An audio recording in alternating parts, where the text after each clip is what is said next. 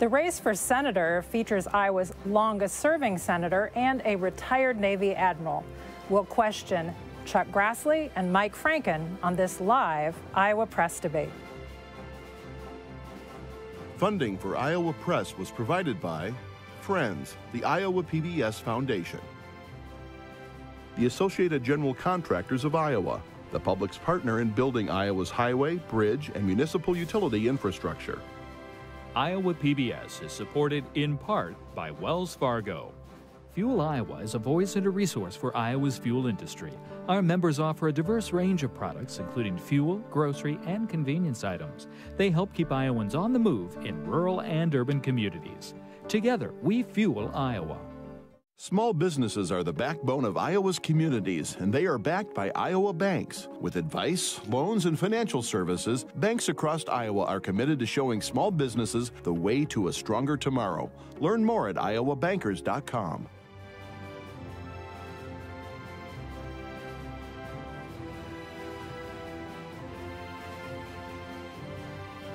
For decades, Iowa Press has brought you political leaders and newsmakers from across Iowa and beyond. Live from Iowa PBS studios in Johnston, this is a special Iowa Press debate featuring candidates for U.S. Senate. Here is moderator Kay Henderson. For the next hour, we will explore the views of the two men running to represent Iowans in the United States Senate for the next six years. Let's meet the candidates. Democrat Mike Franken is from Sioux City. He's a retired Navy admiral seeking his first elected office. Republican Chuck Grassley of New Hartford was first elected to the U.S. Senate in 1980. He is seeking an eighth term. Welcome to you both. Thank you. Very pleased. Reporters joining me in the questioning are Erin Murphy, Des Moines Bureau Chief of the Gazette in Cedar Rapids, and Brianne Pfannenstiel, Chief Political Reporter for the Des Moines Register. Chuck Grassley, for years you've garnered significant bipartisan support from across the state as you've run for reelection, but Des Moines Register polling suggests that that may no longer be the case. Why should Democrats and independents vote for you this November? Well, first of all, before I answer that question, I want to thank Iowa Public Broadcasting for hosting this. It's a very important part of the uh, people's making a choice for election. I want to thank my opponent for his service, military service, a long period of time that he served the people of Iowa. And uh, I would also like to say that uh, I'm running for reelection because I love Iowa. I love the people of Iowa. And uh, I want to continue to work for the people of Iowa. And uh, if I'm reelected to the United States Senate, so this is answering your question. If I'm reelected to the United States Senate, I will be number one uh, in the United States Senate. I will be number one on my agenda, whether you're Republican, Democrat, or independent and uh, my opponent will be number 100. And I, I want to be able to serve Iowans and running for reelection. Another way to serve the people, uh, Republican, Democrat, and independents, according to your question, would be to simply say that uh, uh I'm going to go to Washington again to, uh, and hopefully be in a majority to undo these awful policies of this administration and my opponent has said that uh, Biden is doing a fabulous job. The people of Iowa, Republican, Democrat, Independent, they come to my 99 county meetings. They think inflation and energy and the border are out of control. Mike Franken, registered Republicans now outnumber active Democrats in this state. Why should uh, Republicans uh, vote for you as well? Well, I think a lot of Republicans have the same essence of why this election is so important as I do. Certainly on January 6th last year, there was an attack on democracy. And going back my lifetime, Chuck Senator Grassley's lifetime, his parents, going back to the Civil War, never have we had a situation where over half of a political party has, has voted to violate the results of an election. Think about this. The basic premise for democracy one person, one vote. Toss it out. It no longer matters. If they were a football field, a football team, they would never have to go on the field and yet they would win every game. This is the concept of the Republicans today. They don't like the election, so they're going to change it. And they're now normalizing that behavior. Now, Senator Grassley has had an opportunity to refute that, to use that leadership that he has, that he, he talks about, to good use and to put, to quell this nonsense that's causing this divisiveness in this nation. Do remember that back in January of 02, when this country was completely coalesced together, coming off 9 11. The people that have been in leadership positions since that time have also led us astray. The nation is doing the splits. And the thing that drives rural Iowa apart, troubles so many communities, is this terrible divisiveness. And Chuck Grassley could do way more than that, and he doesn't. He refuses. He's part of the Bessemer furnace to fan the flames of this in this craven desire to stay in office. I will be like that young draft pick, that person that's going to bring the team up. And I've got the vivaciousness and the, the intellect, the ideas, the, a life full of experiences living across the world, across the globe. And I'll bring the best, best of breed coming back to the state of Iowa to be your best senator ever. I can understand why my opponent wants to talk about January 6th. By the way, uh, I'm going to be voting for a bill that will change a lot of things in the 1886 law that makes what happened when the Democrats did it in 2001, Democrats did it in 2004, Democrats did it in 2017. Uh, Republicans did it in 2020 because it's so easy to challenge. And the question of whether or not the vice president should have stepped in and stopped things is ridiculous, even under the Constitution.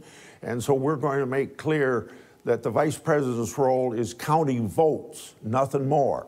And then we're going to make sure that not just one person in the House and one person in the Senate uh, can uh, challenge these electoral votes. It's going to have to be at least 20 percent of each house to do that. And, and we're going to get to that topic later, so we appreciate you talking about that. We, we wanted to ask now uh, the Senate majority, uh, as you mentioned, Senator Grassley, uh, is in the balance in this election across the country. Uh, Mike Franken, we'll start with you here. If Democrats should keep that majority, what is the first thing that the Senate should do with its agenda setting? I think we, we ought to address health care in America. Uh, and part of that health care is women's reproductive freedoms. Uh, the next issue is immigration. We must fix immigration at the border, provide the necessary uh, workforce for the jobs. Every business in Iowa needs workers. Uh, this has been a political football for way too long. Uh, I would attack this and get a, get a comprehensive immigration plan passed.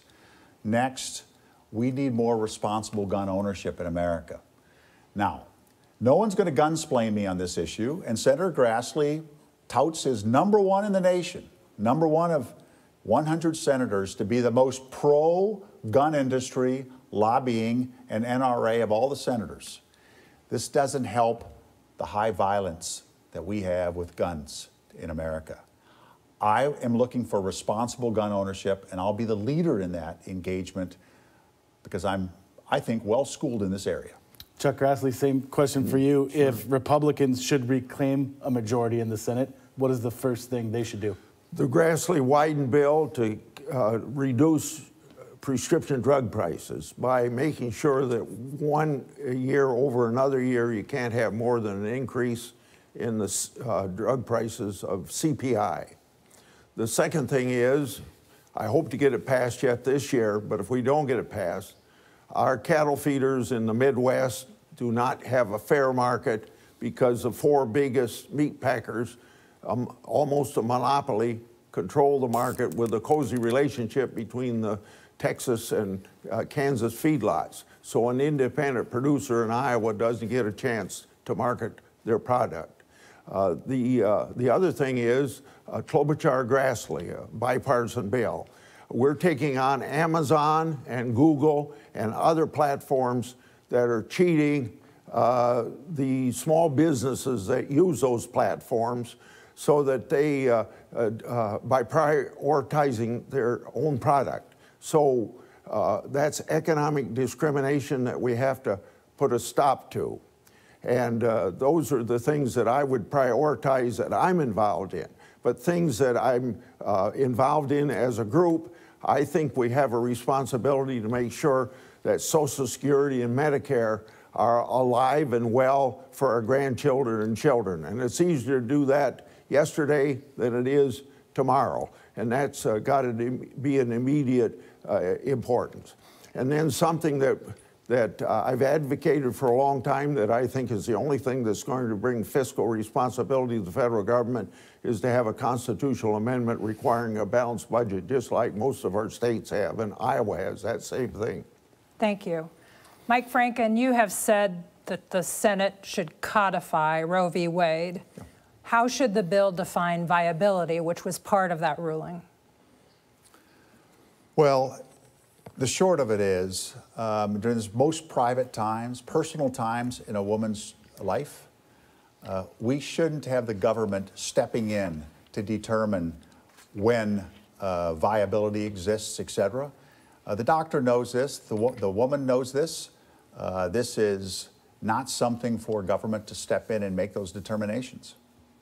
Senator Grassley, after the Dobbs ruling from the U.S. Supreme Court, you have said that the abortion issue is now to be decided by elected officials in the states. However, some of your Republican colleagues in the Senate have been talking about a nationwide abortion ban. If it's brought up on the Senate floor, will you vote no? I, I think everybody knows that throughout my life I've been pro-life, pro-mother, uh, pro-family. I think the Supreme Court decision was the right decision. Now, for 50 years, because the, the Supreme Court decision was the law of the land, I accepted it. The Supreme Court has overturned uh, that back to the states, so elected representatives of the people of the United States uh, get a chance to uh, voice their opinion through their elected representatives. And that surely is better in a democracy than unelected uh, judges of the, uh, of the courts uh, to make that decision. And uh, I, that's where I stand. And, and if you look at wh what my opponent wants to do, he has the most extreme position on abortion you can have. He wants abortion to be available to the last minute of birth. He wants uh, the taxpayers to pay for that abortion. And he doesn't want parents to have a voice in the abortion of, uh, of a minor. I think that's a very extreme position. Mike Franken? Well, some, some of those are a surprise to me. But let me say this um, that Chuck Grassley has made a career since first announced this in 1972 to go after a woman's right to choose. Now, I have a long career supporting people's rights, our way of life, internationally and domestically in the United States military. And it's very interesting that I come back here now having to defend rights of the woman to choose what's best for her. And this last little bit that he mentioned in a woman's pregnancy, this is the most personal time of all. The name's been chosen of that child. The room's been painted, the cradle's been bought, gifts have been made, cards have been sent out. And a malady happens. A woman's life is in danger. Chuck Grassley's world is let health just rule the day. Uh, no exceptions, no bans, abortion niche. When in fact, this doesn't happen in reality. This is a private time where a tough decision has to be made, where a lawyer being in the room is not part of the equation, nor is an intrusive government and a Supreme Court that's idealized after Senator Grassley. Senator Grassley. I think my opponent ought to be ashamed of himself because he has put up a TV ad that says that I'm not for any exception for abortions. And I've pointed out, uh, you folks in the news media would have gotten our press release multiple times where I'm exception for life of a mother, rape and incest, and yet he's still running that ad. Uh, I think that what I've said on, on abortion is, is, is where I stand because I'm pro life, pro mother, pro family, and everybody knows where I stand. Just a quick follow-up. You said elected representatives should make the decision. Does that mean elected re representatives at the federal level? Well, obviously, it could be at the federal level, but uh, for, uh, we've been waiting for a long period of time to get this back to the states, and that's where it should be, and that's where I want it to be. If Senator Graham's bill came up on a, a nationwide ban, how would you vote, yes or no? I would vote no, but usually that question comes another way because I did support a bill before. And I supported a bill before because then, before the Supreme Court decision, it was a federal issue. Now it's a state issue. Let's move on to another topic that's in the news today. President Biden announced that he will pardon thousands of Americans who were convicted of simple marijuana possession under federal law and review how the drug is scheduled. Chuck Grassley, given your work on sentencing reform, do you think this is a good idea? There's no doubt about it that the President of the United States has the constitutional authority to do what he did. Uh, I, we haven't had a lot of time to reflect on it, but one of the things that comes to my mind is very few people on uh, marijuana charges are in federal prison most of them, 90% of them, are in state prisons, 10%. Uh, well, that's kind of the ratio between federal and state prison uh, uh, populations. Anyway, uh, when, when something like that gets to the state, uh, uh, gets to trial, it's usually something that's very, very much bigger than just selling or using marijuana or dealing in marijuana. And sometimes these are uh, uh, reduced to maybe just a marijuana charge with uh, by plea bargaining. And if that if, if that's part that's something you got to take into consideration. Another thing that I think is my work with Durbin and Biden, or uh, Durbin and me on uh, the First Step Act, prison justice reform, the first reform in 30 years uh, gives uh, anybody that had an, on, uh, uh an unreal uh, sentence given to them that they in turn could then, under the First Step Act, go back to the judge and get their thing reduced. I think that takes everything into consideration that the President's Act doesn't. But I can't find any fault with the President's actions because it is constitutional. Whether it's exactly right, I haven't made that determination yet. Mike Franken, you've said you support legalizing recreational marijuana. Should that be regulated individually at the state level, or would you support a federal law? No, I think the, best thing to do. This is step. This is step one to um, to decriminalize it across the nation. And the, the, I haven't read the intricacies of this bill, but if you decriminalize it at the federal level where transactions in business associated with marijuana uh, growing and distribution in the states that have legalized it becomes legal nationally, this will compel states to all get on board because this is a, uh, this is, uh, a drug uh, recreational or otherwise, which will decrease the cost of some pharmaceuticals provide people alternatives. It's a known quantity to be net value from a medical perspective. And I anticipate that the, that the reduction in criminality associated with uh, keeping it um, uh, as, a, as, a, as a category one uh, will have great impact in terms of reducing the amount of crime let alone the, how this has been rather unsettled, uh, unsettled in terms of its application to minorities. Certainly, there's a, um, a some, some lack of leveling as to who it applies to. And the number of people in prison associated with marijuana usage is far out of proportion to the, to the races. And, most of uh, this, I'm sorry. No, so please go ahead. Most of these marijuana comes across the border, an open border. Seems like my opponent believes in an open border because he said the wall was an idiotic thing.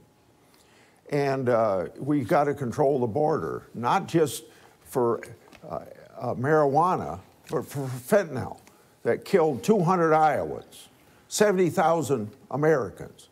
And with an open border, this stuff's just coming into the country. And just a little bit, below an ounce, I don't measure, but just a little bit and a lot less will kill one person. So yeah, there's enough fentanyl coming into this country uh, to uh, kill our population seven times over. And we got to control the border. And I wish my opponent believed in controlling the border. So I do have a history in the military. Um, I think for more years than any other Iowan. So open borders and a military service really doesn't jive. Uh, and I'm a law and order type of individual, and I believe civil authority reigns supreme in a free and open society. So uh, that's let that just hang there. Regarding the fentanyl coming across the border, a vast amount of it is shipped in via packages, via the DHL and mail and the like. Let's, that's well known in the, uh, in, in, the, uh, uh in, in the authorities. Uh, that which is brought across the border isn't being humped back by illegal people crossing, by un, undocumented individuals crossing the border. It's come across in traffic, uh, mer merchandising, and trucks, etc. Let's be honest about this. And, uh, and, and yes, it has to be controlled, it has to be fixed, and this is a great way to, to, to begin working on that. I wish my opponent wouldn't take sovereignty he, he's in the Navy for so long defending the sovereignty of the United States, but when you have an open border, we're no longer a sovereign nation.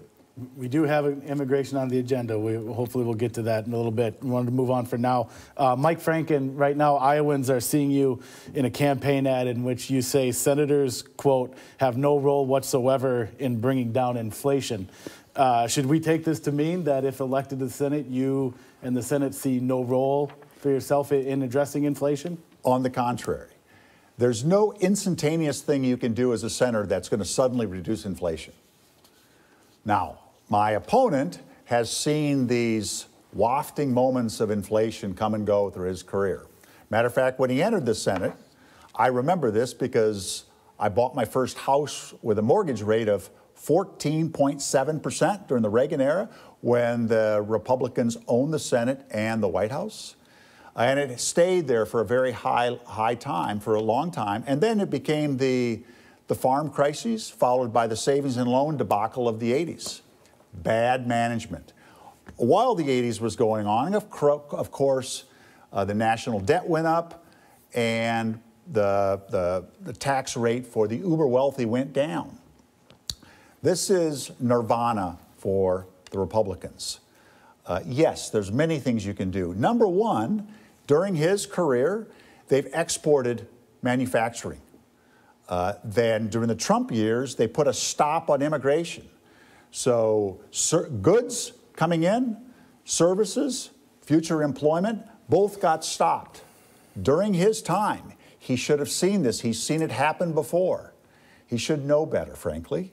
There's many things we can do. The other thing we can do is cut the cost of, say, health care. He had the opportunity to cost, cut the cost of insulin, 35 bucks for uh, Medicare patients, and he steps aside on by a procedural manner. He has, a, he has an opportunity to reduce the cost of pharmaceuticals. The last time he introduced a bill on this, as I recall, the Des Moines Register called it worse than nothing. Um, you know, we can do a lot as a senator, but it takes long-standing uh, altruism and intellect to make it happen and not be a stooge for big corporations. Chuck Grassley, and we're also going to address prescription drug costs later. Uh, but on inflation, you have criticized President Biden's spending. What else, uh, specifically, what legislation have you proposed or would you support that would help address inflation? I want to, I got to answer this issue about in 2006 was the last time that I put in a a bill dealing with uh, pharmaceuticals. Don't forget that that's when uh, the, the bill that I got passed, Part D of Medicare, because Medicare never had anything to help seniors with be, with uh, uh, pharmaceuticals between 1966 and 2003, and I led the battle as chairman of the uh, finance committee to get that done. So I don't think he's in a position to tell me that I haven't done something on this issue. Anyway, inflation is number one on the issues that I hear from my constituents. And what would you expect? Uh, when Larry Summers, former Secretary of Treasury in the Clinton administration, an outstanding economist, said in January, before this new administration took place, that, uh, that uh, don't spend any more money or you're going to feed the fires of inflation. Remember, inflation was 1.4% when this president went in. And you can't blame the war in U Ukraine like it, like uh, Biden wants to do, because it was still 6% at the start of that war. And so consequently, uh, they've, uh, within 60 days after they were sworn in with a Democrat majority, they spent another $2 trillion. Then in August of this year, another 714 trillion. Then forgive uh, uh, student debt uh, and, and another $567 billion.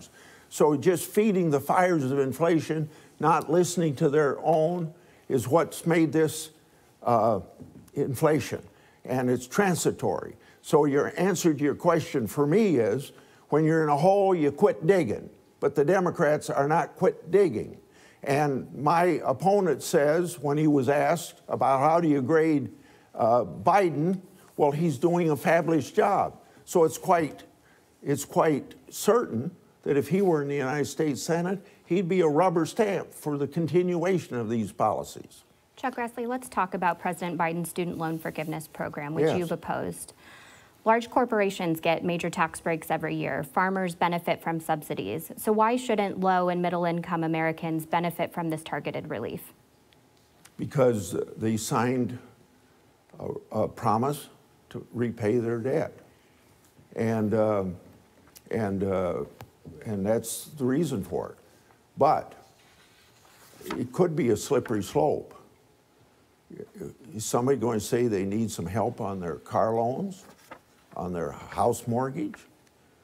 It, it just starts out there. But first of all, very basic to the Constitution. The president himself said for 18 months he didn't have the authority to do it. Pelosi said several times on television, only Congress can do it. So if he doesn't have the authority to do it, how could he do it? He said that. But the, the main thing is the total unfairness of it people at John Deere's that never went to college, paid for student loans, for people that paid off their loans, the unfairness of that. Just stop to think of where does this end if you start down this road. So I want people to know where I stand. I don't think he has the authority to do it. I'm a co-sponsor of a bill by Senator Thune to make sure it can't happen again and maybe the courts will step in. I hope they step in and say he doesn't have the authority to do it, uh, just like they uh, stepping in a lot of times in this administration saying you've overstepped your authority. Mike Franken, you told us on a debate stage uh, here, actually, that you had a lot of concerns about forgiving student loan debt. But when President Biden unveiled his plan, you called it a, quote, welcome first step. Has your stance on this issue changed, and if so, why? Well, to address Senator's last comment, uh, is, is, all fearful of the bailouts. You know, we bailed out banks in America. We bailed out car companies. Uh, we bailed out a lot of industries through the years. Um, I'm not a big fan of bailout of student debt. I want to fix the problem. Something he could have done anytime between now and 63 years going back because it progressively got worse. When I was in school, you could work seven weeks or so at the slaughterhouse, two and a half months, maybe, max, and pay for an entire year of school because the wage scale was such that we could do that. Since that time, Republican governors have, have detracted from what states help out for, for uh, school. Uh, we keep charging students for interest rates that are exorbitantly high. Uh, there's lots of fixes that we can do. Uh, he's offered none. So I'm happy that the next generation wants to get educated. I'm not a big fan of bailouts either, uh, when, when oftentimes the education doesn't justify the costs. And I also don't want people who have got a professional education that they paid a lot for, but they can earn a lot. So there needs to be a balance in here, and we should need thought provoking individuals to make those decisions. There may be an implication that I don't know what it is to go to college and pay for it. I want everybody to know that I went to the University of Northern Iowa after I got out of New Hartford High School. Worked from 3 till 11:30, five nights a week at the Rath Packing Company in Waterloo to get a BA and MA degree. There's a lot of people this very day. I just had somebody today tell me that their uh, uh, son was working his way through uh, college, another son was borrowing money. And uh, you, you don't want to forget there's more than one ways of going to college other than just borrowing money. Candidates, we have a lot of questions here. Let's get to the next one. It's about Ukraine. Chuck Grassley, some of your fellow Republicans have said if Republicans take control of Congress, they should cut off aid to Ukraine. Do you agree? Not now, not now, and maybe never, but uh, that never is connected to Article 5 of the North Atlantic Treaty Organization being triggered in, so that we would have to then defend wherever Putin went into Europe, into NATO nations. And I hope that the American people will be patient to understand that helping uh, Ukraine now uh, will save us a lot of money later on if Putin is stopped right now. I believe that our president has done a reasonably good job in this area as commander in chief. Uh, eh, maybe uh, six months a little bit late, uh, but uh, I think my, uh, my opponent has said that we should put, uh, if there's a nuclear attack on the part of, of Putin, that we should put American troops in Ukraine. I don't believe American troops should go to Ukraine. Mike Franken, Vladimir Putin has threatened nuclear warfare involved in this conflict. What happens next for America if that were to occur? Sure. So, Vladimir Putin, Vlad the Impaler, whose flag is prominently displayed on Republican leadership logos, whose lapdog, Orban, is the where the Republican leadership goes for meetings. Uh, he's the guy that uh, the previous president uh, definitely kowtowed to for some interesting reasons. What you get with me is a clear, clear eyed, long view of the world. And, and, and Vlad is not finished in Ukraine. Now, yes, I agree with the senator. We were late in, to, to need in, in uh, Ukraine.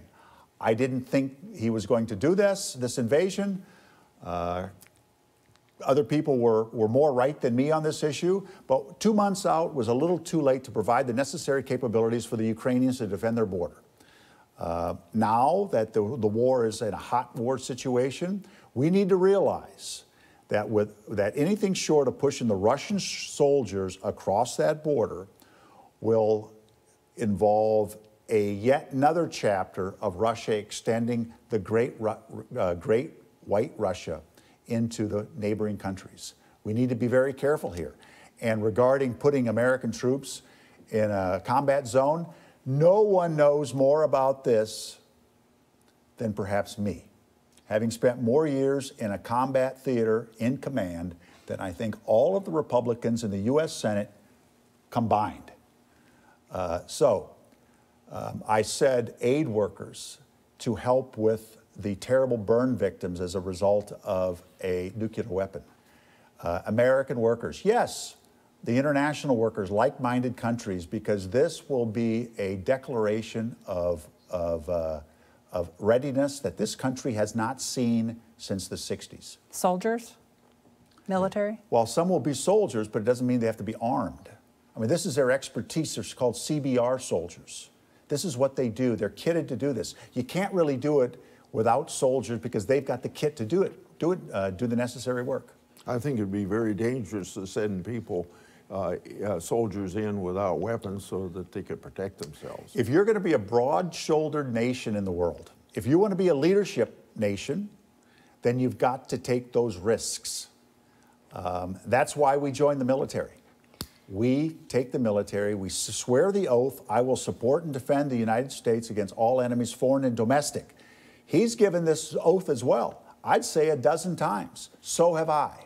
I take it seriously. I'm not so sure he does. Brianne? Chuck Grassley, we were talking at the start of this debate about your support for the Electoral uh, Count Act, changes to update that act. What more needs to be done to protect the peaceful transfer of presidential power? Well, I think s- since it happened, because of the 1886 law, and I think a misreading of the 1886 law, that changing this law and making it more difficult to challenge the electoral votes that counts, I think is, uh, is, is a big step forward. And uh, I'm not saying that there, nothing else should be done, but uh, that's it. Now, there's some things that are talked about being done that I don't think should be done. Uh, the House of Representatives twice has passed a, a voting uh, bill that would federalize all elections and do away with the 50 state elections. And I think that would be a wrong move because if there's uh, fraud in Chicago with a, under a federal law, it would dilute the votes of Iowans. Whereas when we do it through state law, uh, what happens in Chicago isn't going to dilute the vote of, uh, of Iowans. And Uh, let's keep talking about January 6th. On that day last year, you were serving as Senate President pro tem. So there was a, a chance that you could have presided over the counting of electoral votes in place of Vice President Mike Pence. If you had done that, would you have approved the count and certified Joe Biden as president as Mike Mike Pence did? Yeah. You are reading something that was misreported, and that misreporting was corrected a long, long time ago, within just a few weeks after uh, it put up. And what I was talking about that was misquoted was if something comes back from the joint session to the Senate to debate whether or not there should be some challenge to the uh, uh, to the elect uh, to those electors from a specific state, then usually, always when the vice president doesn't preside, I preside, and that's what I was talking about, and it was misreported and it was corrected. And just to clarify for voters at home who maybe don't know the ins and outs, would you have approved Joe Biden and announced him as the winner of that election the way Mike Pence did? That's not even a legitimate question because uh, we, uh, we are taking care of that issue right now by making sure in this legislation that I hope passes in November, December when we get back, that, that uh, the vice president is got no discretion whatsoever. His job is strictly ministerial. Just count the votes, nothing more. Mike Franken, what policies do you believe need to be enacted to preserve the peaceful transfer of power and prevent the kinds of confrontations we saw on January 6th? Well, so Senator Grassley mentioned the previous uh, objections the Democrats made. Just so you know, the majority vote of Americans in every one of those presidential elections, every one, was Democrat. So the majority of the of Americans voted for a Democratic president, and we ended up with a Republican president. So, and there wasn't any violence. Do recall, no violence. The country sat without a president for weeks as we counted votes in Florida. The Democrats did the honorable thing. They waited for the process to work, and they saluted smartly and went about their business. That's the, that's the Democrat way of believing in democracy. The Republican way is to kill people in assaulting the, the, the Capitol, to erect a, a gallows, really? And then to have opportunities in the state of Iowa where someone stands up and says, Senator Grassley, what are you going to do to get those people, those patriots, out of gulag like situations because the conspiring FBI and Capitol Police threw him in the Huskow? And he says, Well, we got to work on the judiciary. That's right. Next question. Really? That's leadership? That's not the steel jaw we need to preserve leadership. This country's never had this before. But when a country, when a party goes off the rail because of lack of leadership and this craven desire to stay in office, to stay in power, then we've got problems. And we probably already will until we get different people in office. You understand that he wants to talk about January 6th because he doesn't want to talk about the things that are on Iowans' minds. At my 99 count meetings, that's pretty generally inflation, energy, and, uh, and uh, the, the border. We're going to and, get uh, to those. And he thinks the president's doing. Uh, I wish you wouldn't interrupt me. You, you did. I wanted time limits. You folks didn't want time limits. You wanted a free flowing, so I'm free flowing with you. Anyway, uh, the the bottom line of it is that uh, he. Uh, he has said so many times that Biden's done a fabulous job. He said that, that he wants to make Iowa more uh, progressive than California. And he says the wall is idiotic. And if he goes back to the Senate, if he's in the Senate, he'd be a rubber stamp for all those things that my people in my 99 county meetings feel are bad. Another topic we want to talk about, you mentioned earlier, Chuck Grassley, is Social Security. Um, but Mike Franken, we'll start with you here. Uh, uh, people who look at the projected solvency of programs like Social Security and Medicare have concerns. What policies do you propose to extend the life of those programs to ensure that those benefits continue to be? Well, let the record show that my opponent would like to privatize Social Security, would like to privatize Medicare, Medicaid. He would like to up the ages. He would like to place more restrictions. And he doesn't, and he actually wrote the law to ensure Medicare cannot work with Big Pharma to reduce the price. I mean, he literally wrote the law. Okay. Uh, easy. Erase the 147K cap to who puts into Social Security. And let's not do this little hocus pocus that people in Congress are talking about to leave this gap between 147 and $400,000 of income. Now, what, whose works in that gap? Well, Senator Grassley's income is, is in that gap.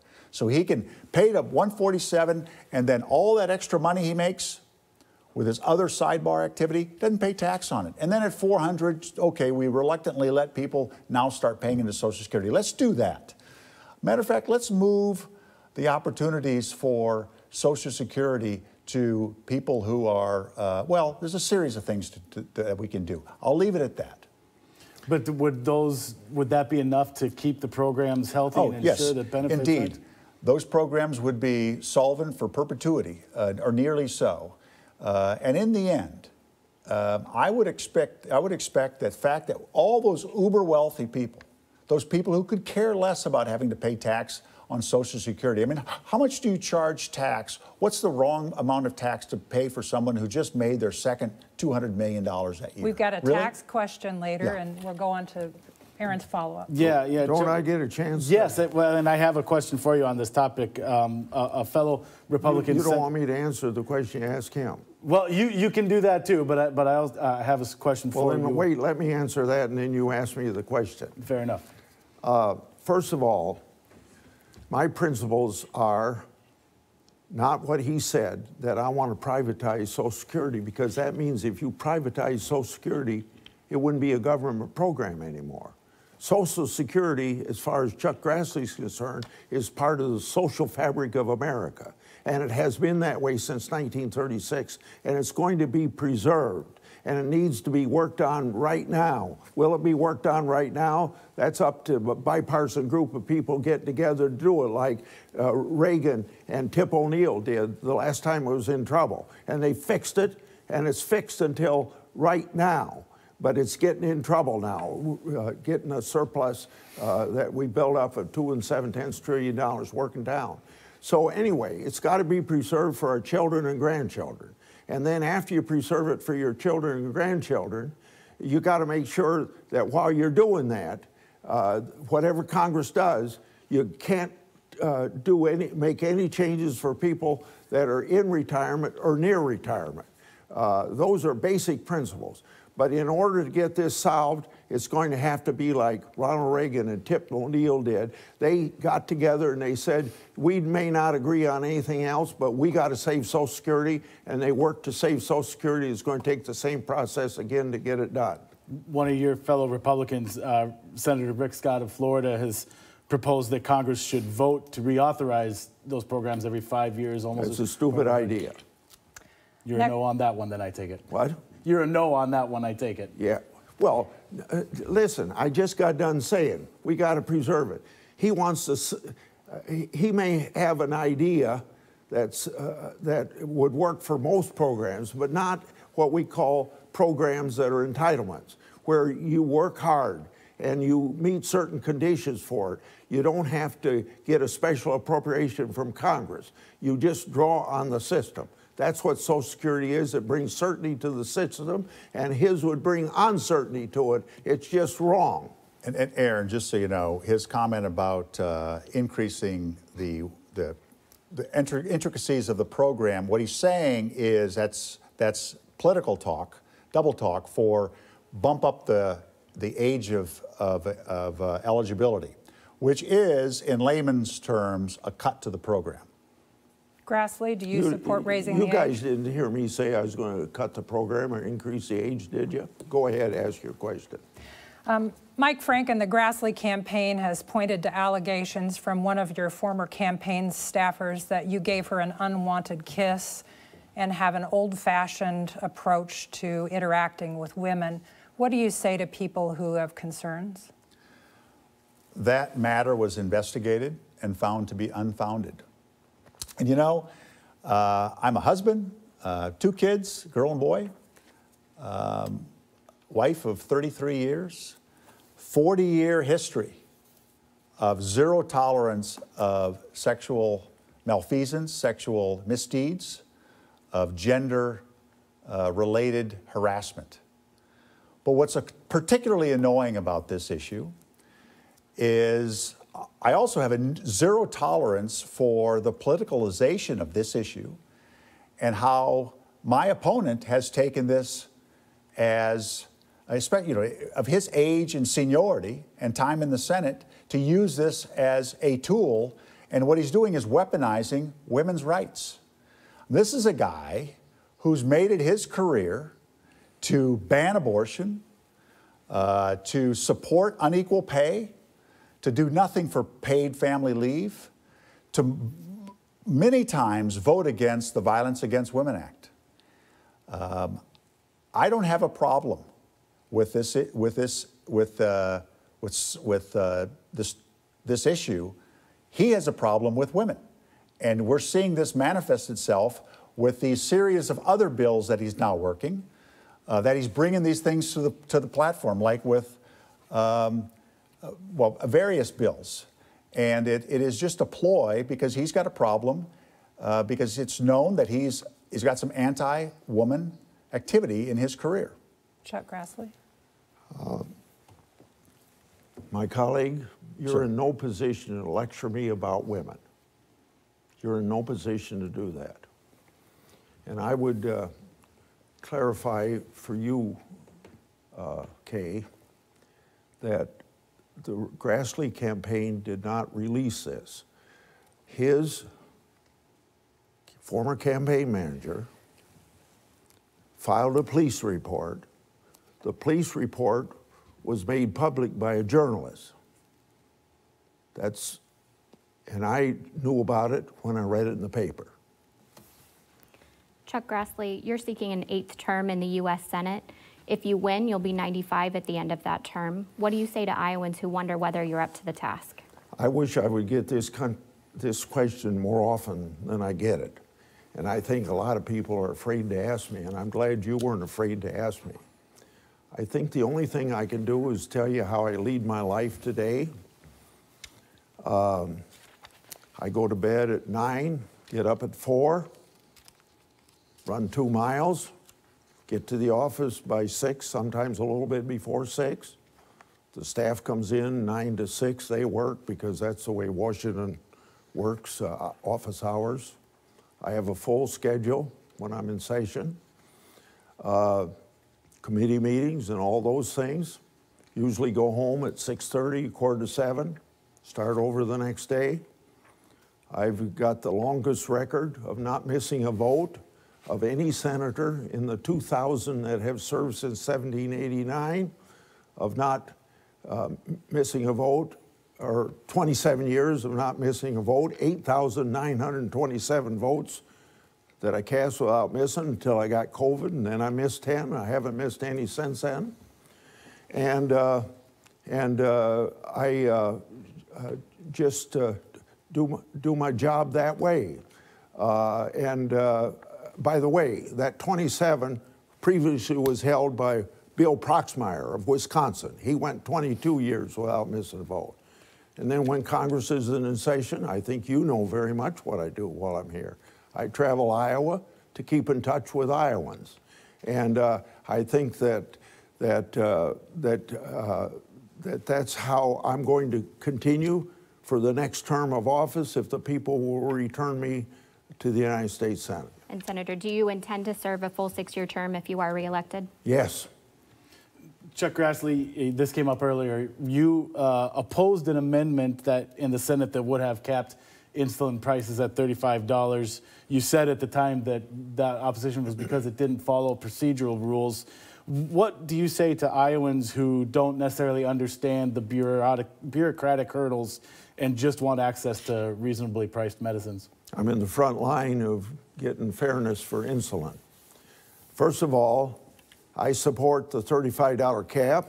I support it in the Shaheen Collins bill.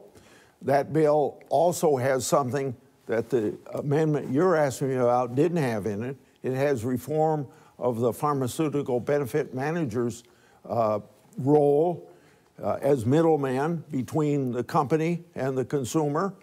We don't know what it does. Unless you reform that, there's going to be, through the opaqueness of the system, it's going to be shifting things from here to there, and there might not be the savings that people want. So if you don't have PBM reform, at the same time you're trying to do something about insulin. But when I got to be chairman of the Senate Finance Committee, I immediately called EpiPen and the other companies that, that do insulin into hearing. And quite frankly, uh, they didn't answer our questions. So Wyden and me, my counterpart, who was then ranking member, now chairman of that committee, we started a study. And if people will go to my website, grassley.senate.gov, and read that study, they'll see how insulin uh, companies are manipulating prices to the detriment of the people that have diabetes. And uh, so nobody can say that I haven't been in the forefront of this effort. Besides, one of the key, uh, one of the 38 sections of the Grassley-Wyden bill to get prescription drug prices down deals with this very same thing, dealing with insulin and trying to get a fair price and a fair break for the people that have to use insulin. Mike Franken, as our time starts to wind down here, um, that insulin cap was partially implemented. So beyond expanding that cap, what else needs to be done to rein in prescription drug costs for Americans? Well, let's ensure that we've got complete clarity as to who gets money from these, these big pharma. Chuck Grassley has raked it in for his campaign donations. What, $1.4 million or so? You know, th these, these long understood problems associated with high health care uh, have, have not caused him to act, to get, on the, to get on the stick and do something about it for all those votes he had an opportunity to, to, to get going on. Um, we can certainly change. We, here's the thing I've lived all over the world. And in the healthcare system in the United States military is what everybody in America ought to have. It is clean, it is perfect, it is what, what families all should have. But uh, we have the, the, one of the least efficient systems I can think of. Great care providers, great education for, for the care providers, schools, institutions, hospitals, et cetera, but a really inefficient system that maximizes profit. How many times did he vote against the Affordable Care Act? Five times, six times, a dozen times? With no alternative to that. He wants to, what vapid profits for healthcare system, healthcare industry, and big pharma's part of that. This is his legacy. It's indisputable. What you just heard was he wants the government to take over all health care. He, the, what he's saying to you reminds me of the promises that were made during the Obamacare debate. If you like your health insurance, you can keep it. You can't. If you like your doctor, you can keep it. You can't. Uh, and all those lies because things were overpromised that couldn't be delivered. and he wants the government to run the whole thing, have the government between you and your doctor. That's not what I want. I want freedom of medicine. I want individual choice. I want to put the patient first. Mike Franken, we have less than two minutes left. Yeah. Would you vote to repeal the Trump era tax cuts? Yes. Why? Uh, it helps the uber wealthy. You know, the ones for the middle class or the upper middle class, they expired in 2021. Uh, they're slowly going out of, out of vogue. Although the big ones for the uber wealthy, they're still in place. This is typical of the Republicans. Cause class divide. Uh, let the big wealthy people become more so and fund and keep their politicians in. Why do you think the Republican Party is getting flooded with money and yet they're running such feeble candidates? Because people need those votes so the uber wealthy can get more wealthy. Chuck Grassley, the final minute. If he did what he said, or what will happen in 2025 if you do nothing, you're going to have the biggest tax increase in the history of the country. And look at what happened as a result of the 2017 tax bill. Before the pandemic, we had the best economy we had in 50 years. We had the lowest unemployment in 50 years. We had the uh, lowest unemployment against minorities in 50 years. We had the most women in, in the workforce ever. And you can go on and on with the statistics that's a direct result of the tax reduction of 2017. You have said that you would want the uh, U.S. Senate to vote to um, codify those tax cuts in 2023. Why do it instead than running out in 2025? Well, because the rules of the Senate, when you don't have 60 votes to pass a tax bill under reconciliation, uh, it can only be done for 10 years. This was done for nine years. Okay, well, did, we are done did for the full... Did anybody talk about debt? Did you hear what he just said? We, I did, and I believe all of our viewers heard it. And I'm sorry, we are we are out of time for this edition of an Iowa Press debate. Thanks to you both for sharing your views with our viewers. And thank you for having us. Yeah, On Monday, October 17th, we'll host the only debate in the governor's race with Republican incumbent Kim Reynolds and Democrat Deidre DeJear. And then on Tuesday, October 18th, we'll question the candidates in Iowa's new second congressional district, Republican incumbent Ashley Hinson and Democrat Liz Mathis. Both debates will be live on air and online at iowapbs.org. If you missed part of this debate or want to watch the debate that we held here last week with the candidates in Iowa's new 1st Congressional District, again, go to iowapbs.org. On behalf of all the hardworking staff and crew here at Iowa PBS, I'm Kay Henderson. Thanks for watching.